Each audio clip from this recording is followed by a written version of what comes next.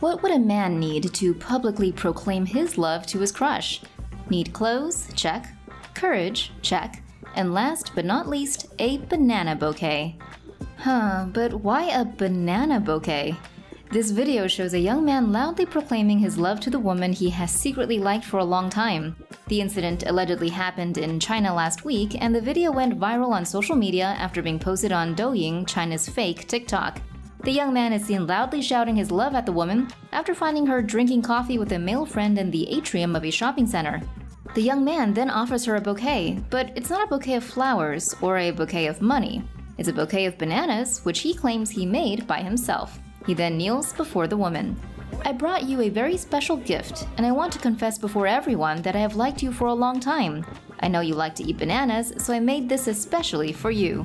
Meanwhile, the woman is laughing in embarrassment at what the young man is doing. Then the young man seems to force the woman to accept his banana love.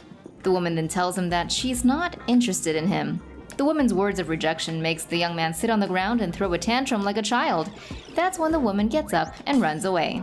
After the incident of the banana bouquet went viral on social media, the young man released a video explaining his behavior. He said that he planned the whole drama and did everything on purpose, including the whining on the floor.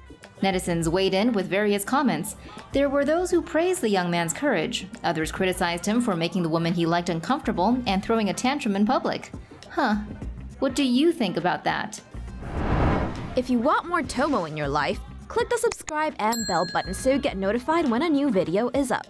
Thanks for watching Tomo News.